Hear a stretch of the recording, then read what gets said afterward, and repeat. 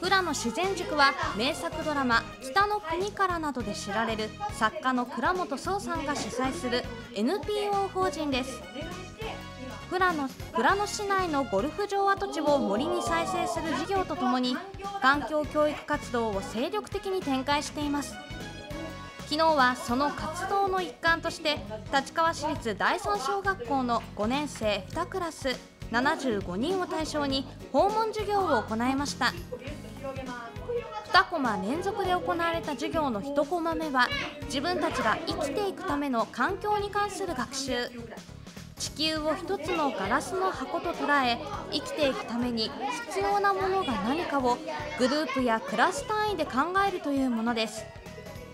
地球環境を一つのケースとして考えることで児童たちは複雑な環境問題を分かりやすくイメージしていました。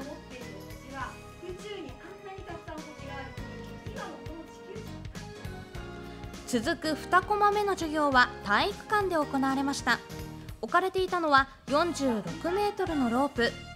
これを使って46億年の地球の歴史を表現しイラストを使いながら地球の環境変化や生物の進化の歴史を学びました。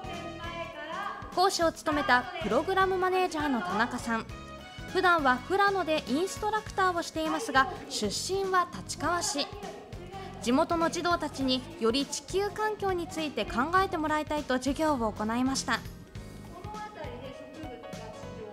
大人の人にも考えてほしいんですけれども未来を生きていく時間が長いのは子どもたちなのでその子どもたちが自分の問題としてしっかりこの問題を捉えることができるように授業をやらせて今日はもらいました。子どもたちはきっと受け取ってくれたと思っています。いつもの授業とちょっと違ってとても楽しかったです地球を汚さないような生活をしたいと思います、